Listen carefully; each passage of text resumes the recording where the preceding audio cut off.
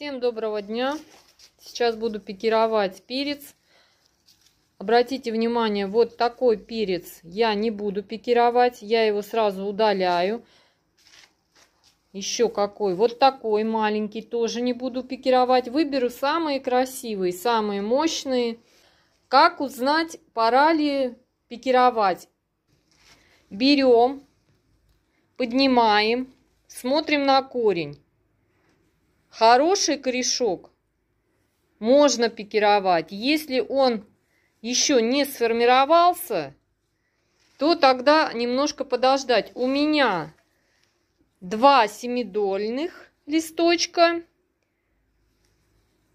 5, 4 основных и пятый, пятый вот маленький, и там шестой на подходе. Ну вот, примерно такой возраст. Сейчас я начну их рассаживать. Ну, подготовила землю, подготовила стаканчики, в которые буду рассаживать перец, и ящики, куда буду устанавливать распекированный перец.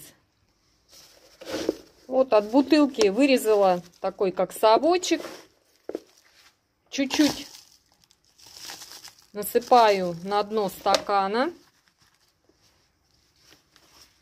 Устанавливаю перец. Одной рукой неудобно, но вы понимаете, как это будет, как этот процесс будет происходить. Так, лишнюю землю стряхиваю. Мне вот неудобно и снимать, и показывать, поэтому пересыпала. Слегка притарамбовала и оставила где-то сантиметр для воды, чтобы было куда воду наливать. Присыпаю по семидольные листочки. Не дает боковых корешков, если сравнивать с помидором. Поэтому вот до семидольных и ставлю в ящик. Пересадила перец. Из-за того, что он сидит в ячейках и у него не нарушается корневая система, вот он не политый, но он чувствует себя очень замечательно.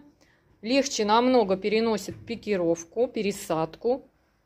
Я, я всем рекомендую именно сажать вот в ячейки, чтобы корневая система не нарушалась при пикировке, пересадке в другую емкость. Поливаю не сильно, не уливаю.